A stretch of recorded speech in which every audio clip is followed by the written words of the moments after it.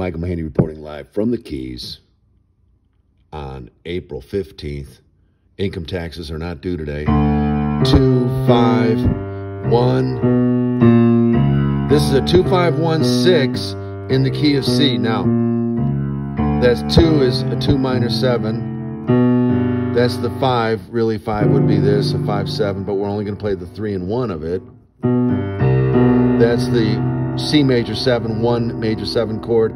We're only playing the uh, root in the seventh. And that's flat two of A, which is six. So two, five, one, six. Come on. Two, five, one, six. This is a nice bass to play. If you are a pianist or if you are a bass player, Give it a try, come on. Woo! I love this. It's a loop.